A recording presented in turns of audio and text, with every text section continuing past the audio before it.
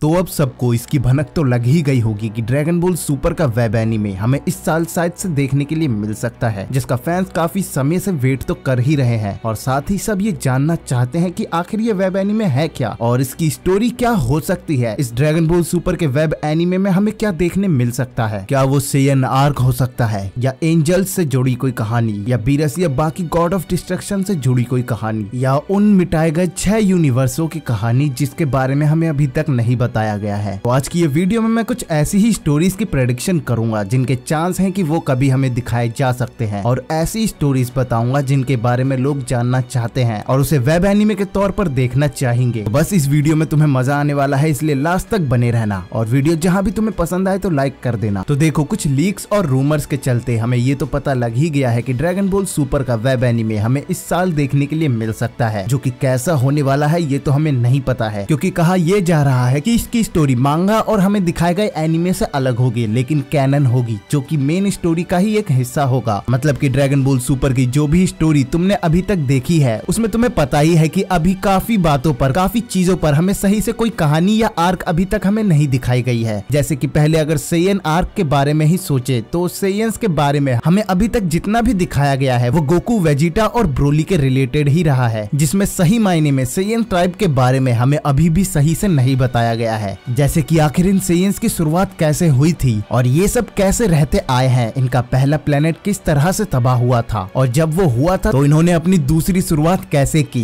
इन्होंने नए प्लेनेट पर जीना किस तरह से शुरू किया और क्या सच में किंग वेजिटा ही सबसे पावरफुल था और किंग वेजिटा से पहले कौन प्लेनेट पर रास करता आया है और ये सेयंस अपने समय में फ्रीजा और उसके बाप से क्यों डरते आए हैं और उनकी क्यों सुनते थे और उस प्लेनेट पर बारडोक कितना पावरफुल सेयन था और बारडोक के बारे में तुमने ग्रेनोला आर्क में थोड़ा थोड़ा देखा ही था कि वो बाकी सेयंस से काफी ज्यादा पावरफुल था जिसने वो फेक मून अटैक को भी बनाया था जिससे सेयंस कभी भी अपने औजारू फॉर्म में जा सकते हैं तो बार्डोक को इतना सब आने के बाद भी वो क्या एक सिंपल ही वॉरियर था और उसकी फैमिली क्या थी वो किस तरह से फैमिली में जीता आया था और उसकी असल कहानी है क्या और इन सेयंस को आखिर वॉरियर्स का ट्राइब क्यों कहा जाता है आखिर ये नाम इन्हें दिया किसने है और सबसे अलग तुमने सुपर सेन गॉड के फॉर्म को तो देखा ही है और जब हमने वो देखा था तो हमें ये बताया और दिखाया गया गया था कि ये सुपर सेन गॉड की जो फॉर्म है ये सुपर सेन गॉड की है जो कि काफी लाखों सालों पहले था जिसने इस फॉर्म को बनाया था जिसका नाम हमें यामोशी बताया गया है जिसके बारे में अभी तक तो हमें सही से कुछ भी नहीं बताया गया है तो ये भी एक इनका अभी बताना बाकी है जिसके बताने पे लोग काफी ज्यादा खुश और हाइप होंगे और इन्हें ये सेन आर्क के तौर पर हमें दिखाना चाहिए जिसे ये अगर वेब एनिमे में दिखाते हैं तो मेन स्टोरी और साइड स्टोरी अच्छे से चलती रहेगी अब इसके अलावा इन्हें एंजल्स की स्टोरी पर भी एक आर्क बनाना चाहिए जिसमें हमें सभी एंजल्स के चुनने से बनने तक की स्टोरी को दिखाया जाए जैसे कि तुमने मोरो आर्क में ही मीरस को देखा ही होगा जो कि एक एंजल ही था लेकिन किसी आम लोगों की तरह ही स्पेस में घूमता और रहता था जहाँ उसका प्रशिक्षण यानी उसकी ट्रेनिंग एक एंजल बनने के लिए कराई जा रही लेकिन अब उसे एक आम गैलेक्टिक कॉर्प के तौर पर हमें दिखाया जा रहा है तो सवाल यही बनता है की इन एंजल्स को चुना कैसे जाता है क्या ये किसी आम लोग को ही उठाते हैं या इसे खुद ग्रैंड प्रिस्ट बनाते हैं या किसी प्लेनेट के क्रिएचर या किसी ट्राइब से ये लिए चुने जाते हैं तो एक ये टॉपिक है जिसपे इन्हें हमें स्टोरी दिखानी चाहिए या ये बीरस आखिर गॉड ऑफ डिस्ट्रक्शन से पहले था क्या ये गॉड ऑफ डिस्ट्रक्शन आखिर बना कैसे तो तुमने हाल फिलहाल में ये तो देखा ही होगा की वेजिटा को भी एक तरह से गॉड ऑफ डिस्ट्रक्शन के लिए चुन लिया गया है जैसे की तोपो को चुना गया है और इन्हें गॉड ऑफ डिस्ट्रक्शन के पावर यूज करने की ट्रेनिंग दी गई है जिसमे वेजिटा उसे थोड़ा सीख भी पाया है और अपनी सेयन होने की वजह से एक फॉर्म में भी ला चुका है तो अब हम ये भी देखना चाहते हैं कि बीरस आखिर गॉड ऑफ डिस्ट्रक्शन कैसे बना उसे गॉड ऑफ डिस्ट्रक्शन के लिए कैसे चुना गया और किस तरह के ट्राइब से वो आता है उसकी स्टोरी आखिर है क्या क्यों बाकी सभी गॉड ऑफ डिस्ट्रक्शन उससे चिढ़ते हैं और बीरस और चैंपक किस तरह से बड़े हुए हैं उनकी फैमिली क्या है क्या उनकी फैमिली मेंबर्स भी गॉड ऑफ डिस्ट्रक्शन से ही आते हैं या वो गॉड ऑफ डिस्ट्रक्शन रह चुके हैं क्या बीरस के पिता या माँ में से कोई गॉड ऑफ डिस्ट्रक्शन की पावर्स को सीख पाया था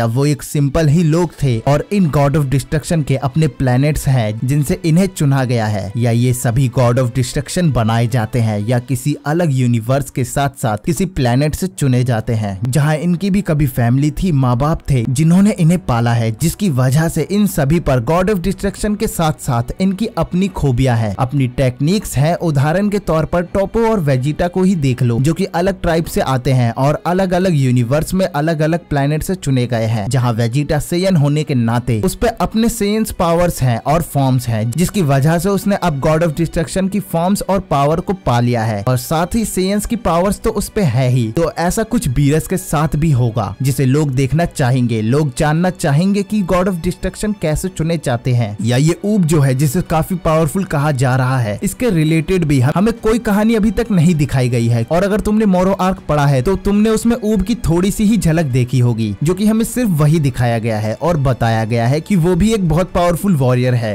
जिसके बारे में अभी तक तो हमें कुछ कुछ भी नहीं बताया गया है तो ये हो सकता है कि ऊब के रिलेटेड ही कोई स्टोरी हमें देखने के लिए मिल जाए जिसमें हमें अलग अलग एडवेंचर दिखाया जाए या एक ये हो सकता है कि गोकू वेजिटा जो है उन्हें हमने गैलेक्टिक कॉर्प में ही देखा था जहाँ उन्हें भी उसमें जोड़ता हुआ हमें दिखाया गया है तो ये भी हो सकता है की हमें इन दोनों के कुछ एडवेंचर गैलेक्टिक फोर्स के साथ दिखाए जाए जिसमें ये दोनों अलग अलग जगह पर अलग अलग प्लेनेट पर जा रहे हैं और नए लोगों से मिल रहे हैं और नए विलन से लड़ रहे हैं या एक ये भी कहानी अभी रहती है कि हमें जितने 12 यूनिवर्स दिखाए गए हैं तो हमें वहाँ ये बताया गया है कि 12 यूनिवर्स से पहले 18 यूनिवर्स हुआ करते थे जिनमें से छह को जैनो ने बिना वजह के मिटा दिया था जो कि किस वजह से मिटाया था वो भी हमें अभी तक नहीं बताया गया है और वो छह यूनिवर्स आखिर कैसे थे उसके बारे में भी हमें नहीं बताया गया है तो एक ये भी हो सकता है की हमें उन छह यूनिवर्स के बारे में हमें बताया जाए जो की वेब एनिमे के तौर पर हमें देखने के लिए मिल जाए अब देखो ये सभी मेरी प्रडिक्शन और स्टोरी देखने की चाह थी जिसमें मैं इन्हें उन्हें एक स्टोरी के तौर पर देखना चाहूंगा खासकर एक सेयन आर्क को और ऐसी ही चीजें काफी और लोग भी देखना चाहेंगे वैसे तुम क्या देखना चाहोगे और वेब एनिमे को लेकर तुम्हारी क्या प्रोडिक्शन है तुम ये कमेंट करके जरूर बताना अब देखो जो भी इस साल या इस महीने ड्रैगन बॉल सुपर के वेब एनिमे को लेके अपडेट आती है तो मैं उस पर वीडियो तो बना ही दूंगा साथ ही अगर तुम उसके रिलेटेड कुछ छोटे मोटे अपडेट पाना चाहते हो और मुझसे जुड़े रहना चाहते हो तो मुझे इंस्टाग्राम पे भी फॉलो कर सकते हो और चैनल को तो सब्सक्राइब कर ही लेना तो मिलते हैं अगली वीडियो में